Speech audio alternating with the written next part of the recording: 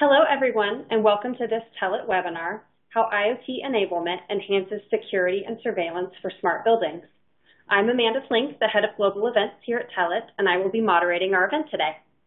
Um, first, let's jump right in and get to know our speakers. Um, to explain this topic today, I'm pleased to be joined by two speakers.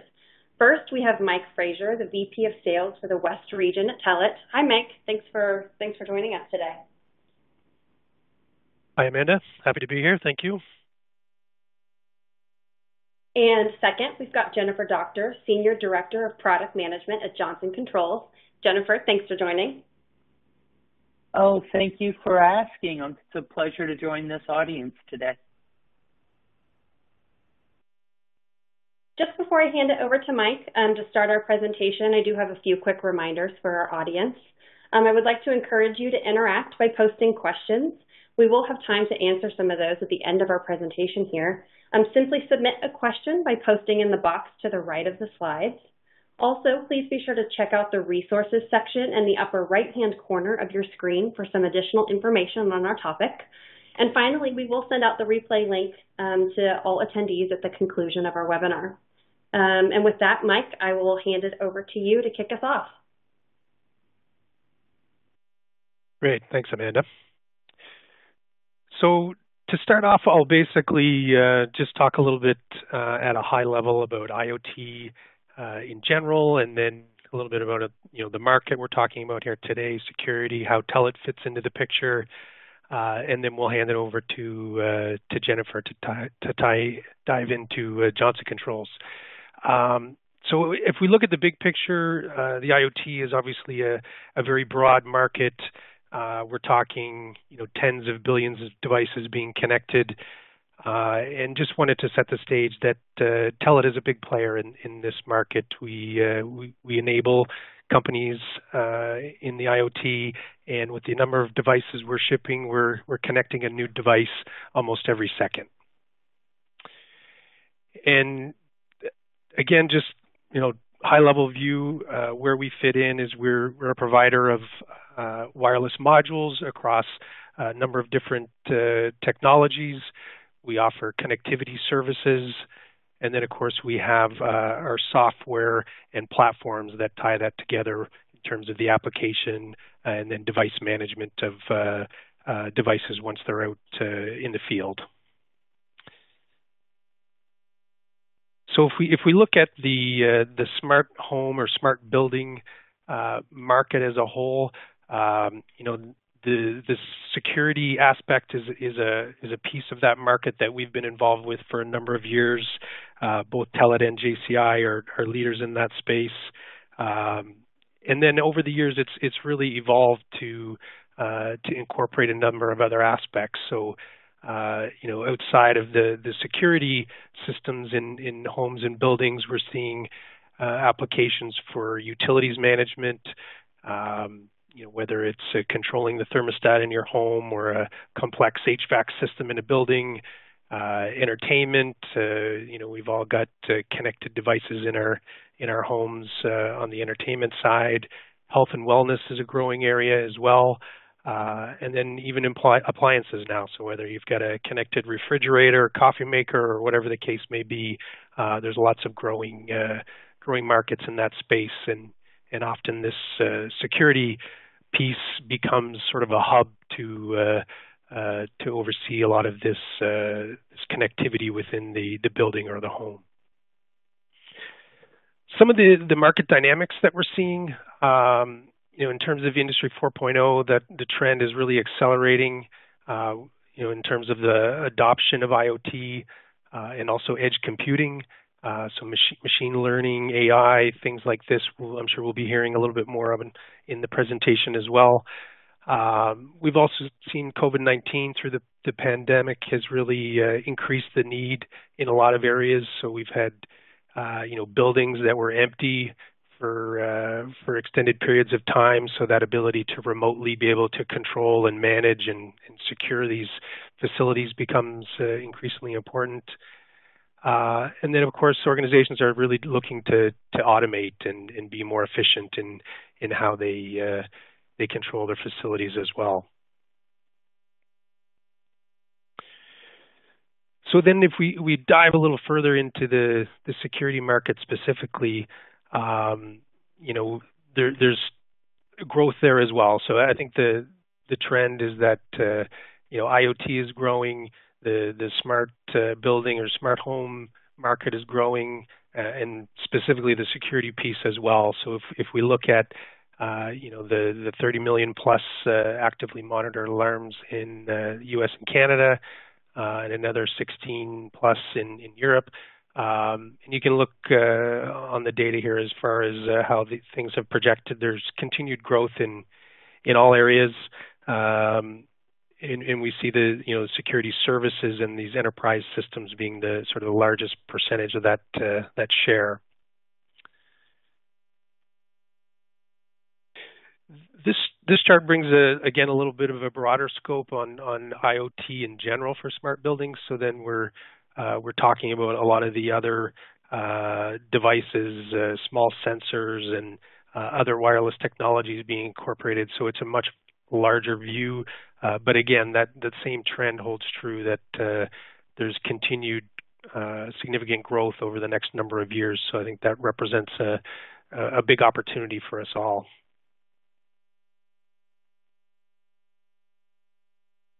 In terms of benefits on uh, you know the IoT within this uh, smart building and, and, home automation type of space. You know, again, there's there's the security space which um, you know we're familiar with, and you know whether it's uh, alarm panels or cameras or uh, any peripherals tied into that.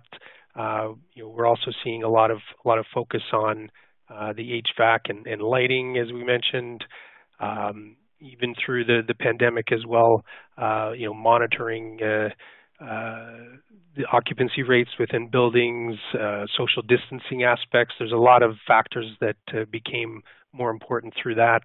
Um, and uh, you know, again, the, the thermal controls and uh, hygiene and cleaning, maintenance within buildings. These are all things that can be uh, monitored and, and, controlled remotely, and, and we can add some of these edge computing technologies here as well. Some of the other trends and shifts that we see um, is really the you know increased need for these uh, remote uh, management of, of you know, the energy side of things is very critical. We, we want to be more efficient and, and reduce uh, costs for buildings, so there, there's lots of potential there.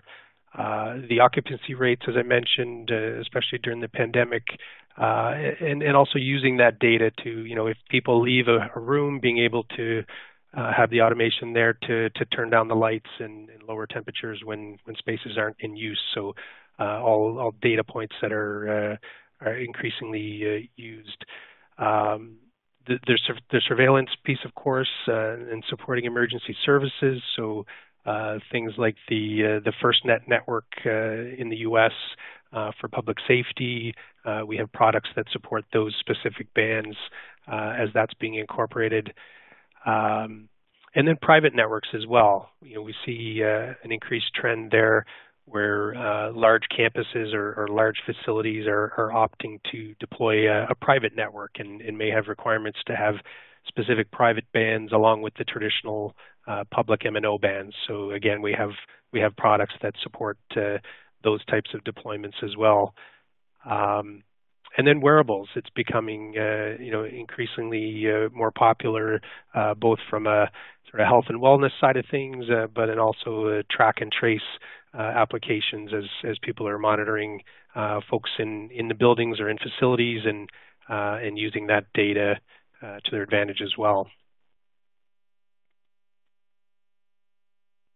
So I guess when we when we dive in specifically more in in the cellular technology, um, this is where we see a, a, bit of a divide in the market. So there's um, there's really the sort of the higher end, what we call our high category uh, LTE and 5G products, where uh, increased uh, throughput and, and, speeds are required. So uh, you know, if we think of the case of you know streaming high definition video from a camera as part of a security application.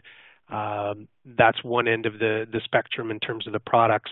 Uh, and then on the other side, um, you know, whether it's a, you know, an alarm panel or, even further, uh, a very low cost uh, sensor uh, that might be battery powered. And so, you know, very different requirements from a cellular standpoint, very low, low throughput speeds required, uh, very low current consumption required, and, and size as well. So um, we've really got this, you know, market that splits into to two aspects. So we have mods that support the the LPWA technologies like Cat-M1 and NB-IoT to address the, the smaller uh, requirements at the lower end there. And then we have, you know, a full portfolio of uh, data cards uh, and uh, HiCat LTE and 5G products to uh, to support the other end as well.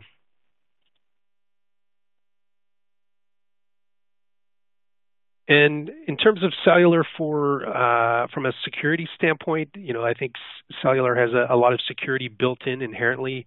Uh, there's the 3GPP specification that the products are uh, designed towards, and um, you know that involves a lot of uh, security credentials. There's unique uh, identities that are injected into the devices at the time of manufacturing.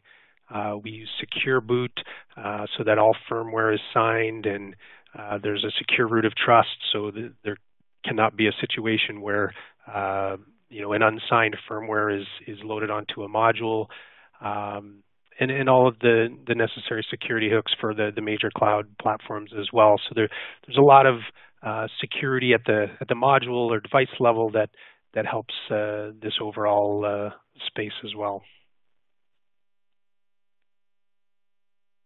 One other point I want to make is the you know from a from a wireless technology standpoint, it, it really is a, a hybrid approach. There's not one wireless technology that is a one size fit all for um, you know for this market. It really is a combination of you know cellular uh, in a lot of aspects, but then you know Wi-Fi and Bluetooth, other short range technologies as well, uh, often used in the buildings with some of the sensors. Um, and then we, we do have some you know positioning uh, GPS and, and timing uh, modules on a standalone basis that are that are often used as well. So it, really is a, a, mix of a number of different technologies, uh, and, and we do have offerings in each of these categories to to help based on the the needs of the application. So final slide for me, um, just again wanted to back up and look at the sort of the bigger picture um, really, our goal is is to to try and simplify. Uh, IoT is a is a can be a very complex uh, space to enter. Uh, a lot of uh, you know whether it's the device level or the connectivity or you know managing your deployment once it's out in the field. There's a, a lot of uh, aspects that uh, can become very complex, especially as your deployment grows into you know thousands or hundreds of thousands of devices out in the field. Um, so that's where we've really tried to, to simplify things and, and help customers get to market faster. Uh, so whether it's our, our devices themselves uh, on the left-hand side of the of the chart here, uh, and as we move across the, you know, the connectivity services that I mentioned, uh, so we can we can help uh, aggregate a number of uh, carrier services into to one single pane of glass to manage those globally. Uh, and then the application and uh, device management uh, platform as well to uh, to really be able to manage that uh, deployment once it's in the field, push firmware upgrades over the air, uh, all all these things that become very important as your deployment matures over time. So we try to build this all into a full solution for customers in the IoT space and, and certainly from the, the smart building and, and security uh, standpoint, these are all uh, important factors. Um, so that's it for me. So I'll, I'll hand it off to, uh, to Jennifer and, and, tell us all about uh, Johnson Controls. Thanks, Mike. Uh, and thanks again for the opportunity to join you today. Um, I'm just going to take a couple of minutes up front and talk a little about you know, who is Johnson Controls? Um, Johnson Controls is a company with more than 135 years of history. Um, we have a global team of 100 or 120,000 uh, experts across um, you know, more than 150 countries. Our products are in close to 200 countries. And at the core, Johnson as a business is about transforming the environments where people live, work, learn, play. We're look, you know, Johnson's mission is around helping to build and develop smart and healthy and sustainable buildings and spaces that reimagine how these buildings and spaces serve people, places, and the planet. Our commitment to sustainability is very strong. In fact, our head of global sustainability was literally just uh, selected as the number one leading woman uh, globally in the efforts of sustainability. Our CEO sits on a number of councils, including several uh, formed by President Biden here in the United States, um, as well as some others. But when I look at Johnson, I bring it down to my business unit, which is part of the security team. Johnson has uh, 12 different product business units. Security is one of them. In that business, for the alarms for what we call intrusion, um, we've grown through a variety of brands. So some people in the market know us as DSC. Some know us as Qolsys. In Europe, people know us as Visonic, as Bentel.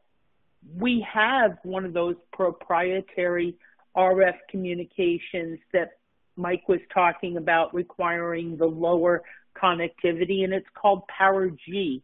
It's a frequency hopping 128 AES encrypted fed spread spectrum RF that is our proprietary RF and embedded in um, more than 50 of our products um, to provide an additional level of security and uh, transmission protocol.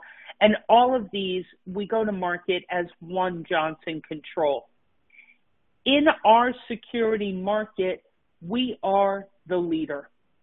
We own a 27% market share in the uh, Americas, and we own 17% market share globally.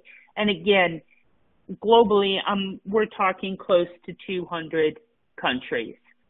Our competitors are the names that you may have heard about in the, you know, through other relationships. We compete with Resideo. We compete with DMP. We compete with Honeywell. We compete with Risco, with Nortek, which owns 2GIG. Um, we compete with Jablotron. We compete with, um, you know, Vanderbilt Technologies, Texecom. The list is endless. In our market space, our global space, we're looking at revenues of 4.1 billion for the security space. And the CAGR over the next several years, the growth rates, we're really looking at nine, almost 10, um, you know, percent in terms of our growth. So we have an extremely large growth opportunity as we continue to build. You would think that COVID would have changed how people view security.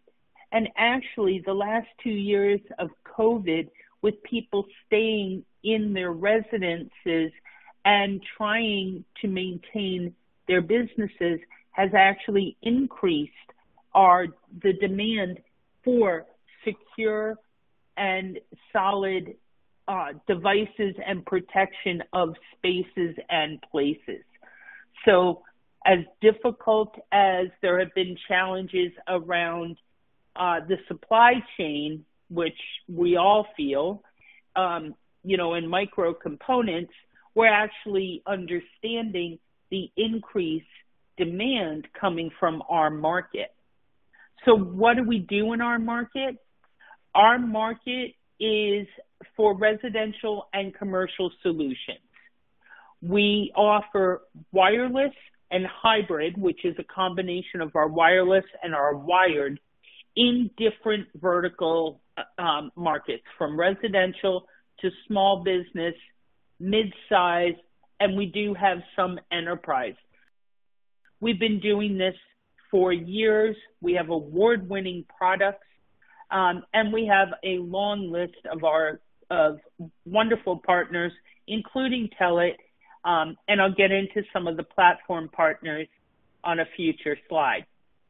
So what we see in trends is that connected products continue to increase. As I said, you would think that COVID would have actually caused a decline, and it's showing a difference. It's showing almost the exact opposite. Now, one of the items that we see um, is the definition of connected items. And 10 years ago, people were talking about devices and IoT in relation to their routers, their computers, their laptops, their smart TVs. And now what you see is that connectivity has to go into new categories. You know, Mike referenced um, smart appliances. I moved into a new home two weeks ago. Um, my landlord had replaced all of my kitchen appliances, and the first thing I noticed when I looked at these appliances, every one of them has a QR code on the appliance. Now, I haven't taken the time to actually scan them and start using them that way. Um, I'm more concerned about cardboard boxes, but I've got a full kitchen of smart appliances, and I'm really looking forward to seeing what that's going to be, you know, enable for me. Um, I'm really excited about making sure I can that I turned off my oven after I've left my house. Now we look at that in a connected home and say, okay, that's cute, but that's driving adoption of some of the core devices. These core devices what we call um, what drives the adoption in security, and it typically starts with locks, lights, and thermostats. And you can see that in this chart, you'll see that the percentage of the U.S. households who are owning more than three devices has increased by 64%. And that's pretty phenomenal when you think about how technology is consistently adopting and evolving, with any consumer adoption, um, you have people that jump on the bandwagon early and often, and you have people that are, you know, taking their time and checking. But what we're seeing is that these connected devices are becoming very integrated into the home, and that's leading to more connected devices, more sensors are coming in the home, and we're seeing an increase in our demand on a residential side. Now, when we look at the commercial side, what we see is businesses which have tr- traditionally been a little bit slower in adopting um, technology that the you would see in the business are now changing their operating models to meet the needs of the customers. And the commercial business are heavily investing in their energy, air quality, particulate, organics, water, but integration with the building automation systems, integration with property management systems are all becoming very required.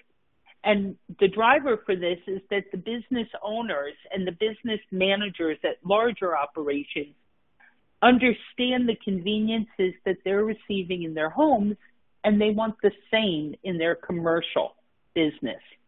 Now, this is also being pushed for by enterprises who want to take on greater control of their IoT through understanding uh, how enterprises are going to change these models. And this shift to cellular connectivity is really repositioning the experience that users are having to the edge. So some of these changes include eSIMs. And the year of the eSIM and the greater interoperability is one of the monikers that was put in 2022. eSIMs are going to start to become a default technology for IoT, breaking the move of a 40 year plus lock between operators and SIMs that are in individual devices. That's going to offer more uh, choices. Choices are the driver of a lot of change. Um, the business operators, the business owners, managers, they're looking for alternatives that are going to help them manage their business. In residential, we look for ways to lower costs. In commercial, we're looking for ways that are going to help manage businesses. We're also seeing more on edge devices um, moving to the edge to have greater control of their deployments is something that the business owners are looking. And as Mike pointed out, the evolution of 5G is going to enable enterprises to take more control of their networks at a larger scale and drive forward. So what does this mean in terms of our trends? What do we see with the devices and the sensors that we're developing and installing in both, you know, the smart home for the residential and the smart home, smart building for the commercial? Um, analytics, analytics, analytics. I remember saying eight years ago, he who owns the data wins. You see this in your homes. You see Apple, Google, Netflix, Amazon. Everyone wants to own your data. The more data they own, the more powerful the companies are, the platforms are. So the need to provide data have the sensors provide the data, pass through data to provide business intelligence, which is going to influence our artificial intelligence and machine learning continues to grow at an exponential level. We see a trend that involves more around sounds and audio, analytics, listening, not in terms of I want to know the conversation, but in terms of understanding the environment, are there differences in noise levels which could indicate challenges? Um, imagine if you're a landlord and you own multiple units in a an apartment building and you keep getting a noise complaint from a resident in apartment 2A about the party happening in 3A. And you have the ability to collect sound analytics and understand the reason that 3A is, you know, walking around at 2:30 in the morning is because you hear baby crying or 3A is constantly having a party which is breaking the rules. Now you have some data. And again, it's not about saying that you know i'm listening into what mike and amanda are saying in a conversation but the analytics tell me this is a normal event or not a normal event voice continues to be a trend the ability to speak to our smart devices and have them respond how we'd like the occupancy detection the the idea of following me, um, that when you're in a home, you're, it's seamless. You're not going device to device. It just flows. In a building, your occupancy, your presence is known, and where you are and where you should or shouldn't be is controlled by your presence. Um, unified presence, we're all tired of having 19 remotes to work the DVR, the smart TV, the Apple TV, the Chromecast, the you know Hulu. Um, it's the same in our in our security market. Having unified devices so that if you buy a camera from Amazon and you want to put it into a security panel through a Z-Wave integration or a Wi-Fi integration, you don't need 96 different devices to control. Um, finally, the predictive behavior. That predictive behavior is what's going to help drive us into the future, into understanding that at night I turn off my lights and then there's a gap and then I turn down my thermostat or I turn up my thermostat. Eventually, that behavior becomes learned, and the sensors need to be smart enough and communicate well enough to understand and respond. So, what do we see um, in terms of use cases? I talked about some of these. Mike has mentioned them.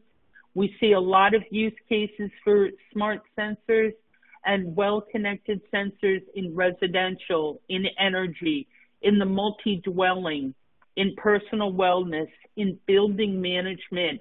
I, interactive services are those platforms that allow you to interact remotely with your system.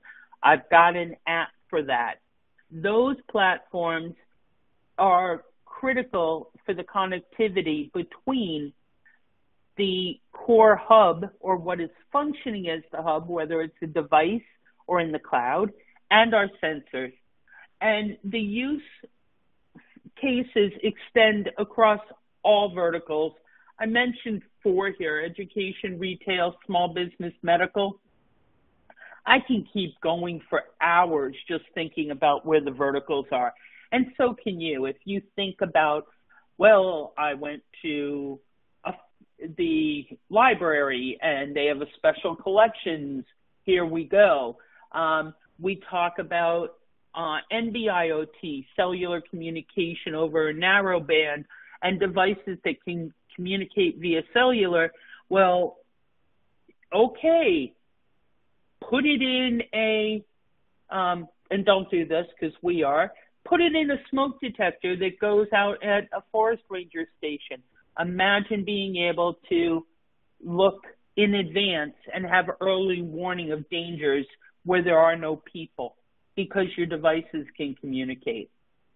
Uh, finally, my last, nope, that's not my last slide. That was my last slide. So I'm going to pass this back to Amanda and let her close this out and manage this the way she intends. Thanks, Jennifer. Uh, great information, guys. Um, really, really appreciate it. Um, audience, before we get to the questions, I am going to drop um, a poll on your screen. Um, if you'd like to have one of our experts contact you, please uh, just respond here on the poll and we'll get someone to reach out to you directly. Um, we do have time for a few questions now. Um, we still have time uh, to ask a question, so please submit using the box to the right of the slides here.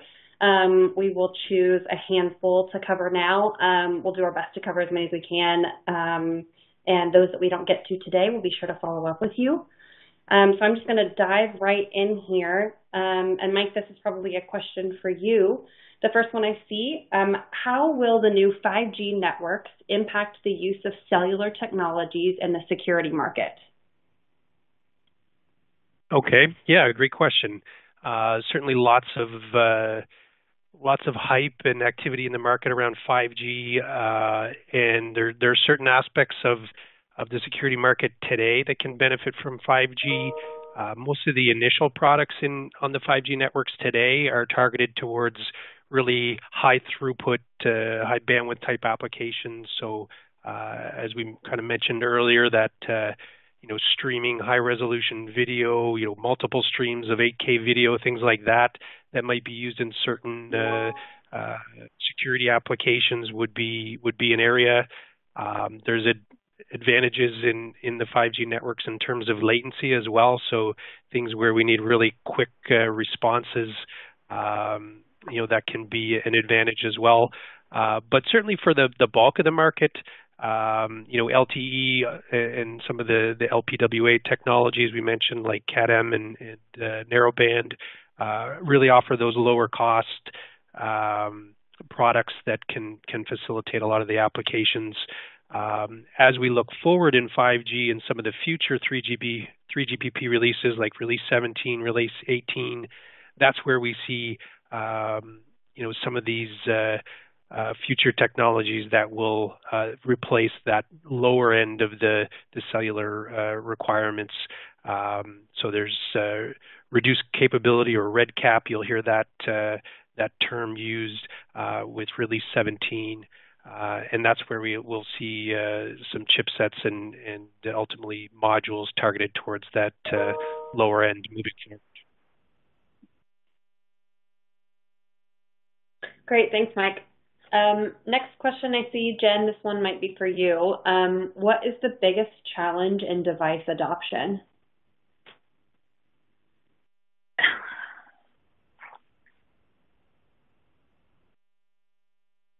I think the biggest challenge that we have in device adoption is cost. Um, as a consumer of the technology, as a consumer of the components, um, we understand that all of our component costs continue to rise from our vendors, from our partners, um, but the market doesn't accept the cost increase. Um, and it continues to challenge in how do we invest, how do we develop lower cost devices, which we have a challenge, with better technology that costs more. And it's a constant conflict that we need to manage internally and with the help of our partners. And it doesn't matter what cost point you're talking at. We have the same problem on a $7 detector as we do on a $500 line card for a monitoring receiver.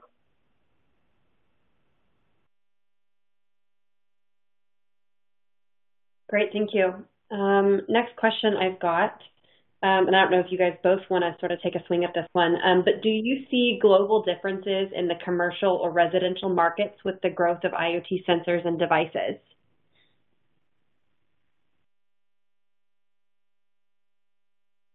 I'll take I'll take the first start at it, Mike. Then you'll probably be able to build.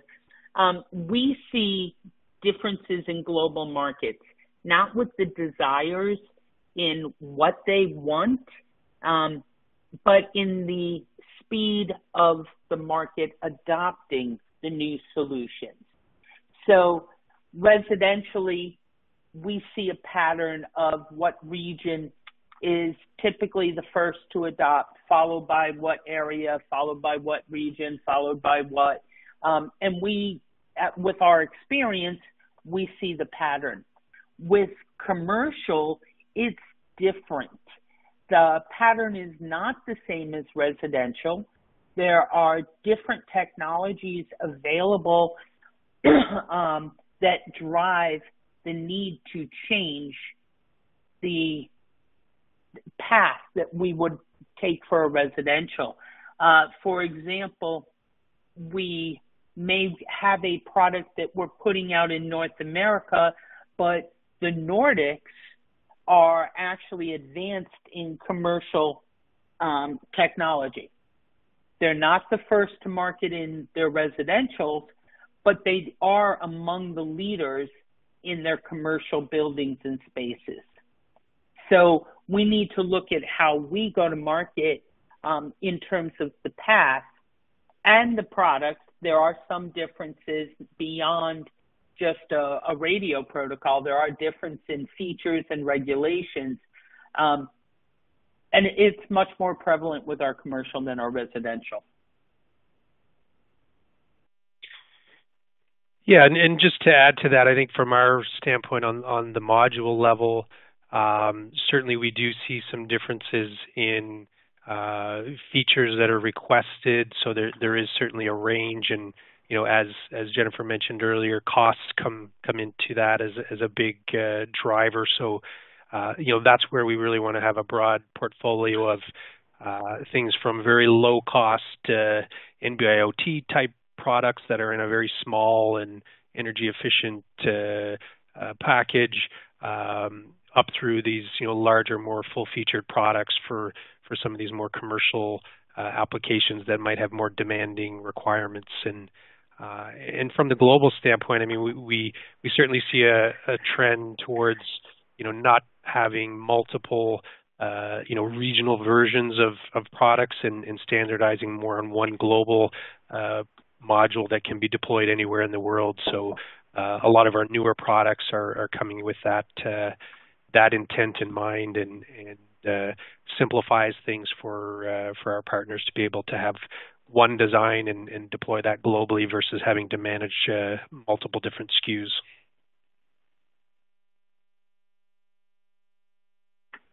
Uh, thank you both. Um, and Mike, this I think is a good follow-up question to sort of your, your last statement there. Um, how could Telit simplify um, the complexities involved with managing a large global deployment across many countries and carrier networks? Yeah, so there, there's a lot in that one. Uh, so on the on the device or module standpoint, there, there's the global uh, global products, as I mentioned. Uh, if you look at it uh, from the carrier standpoint in terms of connectivity services, uh, that's an area where we act as a, an aggregator and, and can funnel uh, companies' requirements across multiple carriers globally into one one managed service through Telit. So there's a there's a lot we can offer there. Uh, Jennifer brought up eSIM uh, as a technology as well, so that's a, a very uh, fast uh, advancing technology that we we have products uh, that support that, and it's enabling a lot of new use cases as well. Um, and then from the device management uh, platform standpoint, so being able to once you have you know hundreds of thousands of devices out in the field, and and there's been some carrier network settings that need to be changed, and, and now you need to you know push an update of new firmware to to all your devices. Uh, you know, having a platform that already supports that functionality and be able to just quickly uh, push an update to the field is uh, is becoming more and more of a, a, requirement, and so that that device management uh, platform we offered helps tie that together as well. Um, and, and lastly, the uh, from a from a hardware footprint standpoint, we have a we keep most of our products in a, in a very common uh, footprint. So it's is one board design, and then you can swap out multiple technologies on that same footprint. Uh, so we try to keep uh, keep things uh, simplified for for our customers from that standpoint as well. Great, thank you. Um, I think this is a, a good stopping point for us. Um, it's about all the time we have got for today. Um, so just going to remind our audience um, to check your inboxes in the coming days. We will send out the replay link um, and a few additional resources um, for you to look through. thanks, Mike and Jennifer, for your time today, and uh, appreciate all who joined us. Thank you.